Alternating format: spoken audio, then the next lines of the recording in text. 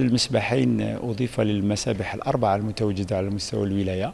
حتى نتمكن من تغطية أكثر من 19 طفل اللي سوف يستفيدون من السباحة من مختلف البلديات. الذي وكذلك فيه برنامج خاص آه، لننقل الأطفال نتاعنا إلى شاطئ شنوة في إطار أيضا المخطط الأزرق وإن شاء الله إحنا نصبوا باش نلحقوا 12 ألف طفل وهذا اللي تستفيد منه أكثر من 64 بلدية على حصص مختلفة وهذا آه، بنسبة 200 طفل كل يوم.